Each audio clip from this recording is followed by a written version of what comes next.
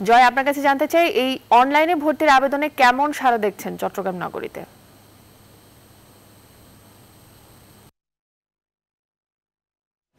ধন্যবাদ যোজনা। সকাল দশটা থেকে শুরু হয়েছে। চট্টগ্রামের দশটি সরকারি স্কুল আছে।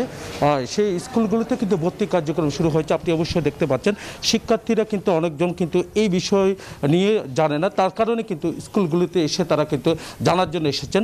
এমনকি ফর্মের মধ্যে কীভাবে তারা ফর্ম ফিল করবে, সেই বিষয়গুলো নিয়েও কিন্তু তারা জানতে এসেছেন। আমি একটু কথা বলব। নাসিরাবাদ সরকারি উচ্চ বিদ্যালয়ের প্রধান শিক্ষক আছেন। আমি একটু জানতে চাচ্ছি, অনলাইনে যে আপনাদের যে কার্যক্রম, আজকে থেকে ভর্তি কার্যক্রম শুরু হয়েছে চট্টগ্রামের দশটি স্কুল। এর মধ্যে এই স্কুলটার মধ্যেও কিন্তু আপনারা দশটা থেকে শুরু করেছেন। আমি একটু জানতে চাচ্ছি, এই ভর্তি কার্যক্রমে কেমন সারা মিলছে?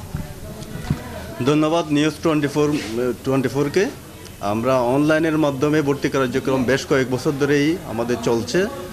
গত বছর আমাদের চট্টগ্রাম মহানদীতে নয়টি সরকারি স্কুল ছিল। এবছর একটা নতুন সরকারি স্কুল যুক্ত হয়েছে, Chattogram model school and college. সেটি সহ মোট দশটি সরকারি স্কুল। এই বছরের একটু ভিন্ন মাত্রা আছে। প্রতি বছর আমাদের অনলাইনেই ভর্তি কার্যক্রম হয় কিন্তু ভর্তি পরীক্ষা হয়।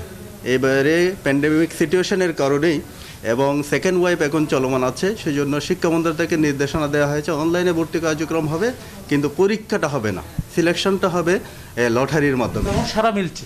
হ্যাঁ, ইতিমধ্যেই প্রতি মুহূর্তেই আমাদের গার্ডিয়ান আমাদের সাথে যোগাযোগ রাখছে। সেই জন্য সিস্টেমটা নতুন করার কারণে আমাদের প্রিপারেশনটা একটু দেরি হয়ে গেছে। আমরা আমরা ভর্তির ফাইনাল বিজ্ঞপ্তিটা গত রাতেই আমরা ফাইনাল করতে পেরেছি। কালকে রাত্রেও আমাদের মিটিং ছিল এবং কালকে রাত্র পর্যন্ত আমাদের কারেকশন হয়েছে।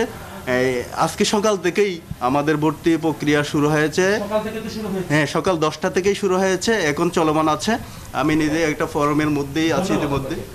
যোজনা আপনি অবশ্যই বুঝতে পারছেন, যে প্রধান শিক্ষক যেমনটা আমাদেরকে জানিয়েছেন, তিনি বলছেন ভর্তি কার্যক্রম তারা শুরু শুরু করেছে, এমনকি সারাও মিলছে বলে তিনি আমাদেরকে জানিয়েছেন। তো এ ছিল আমার এখনকার সর্বশেষ ফিরে যাচ্ছে স্টুডিওতে যোজনার কাছে।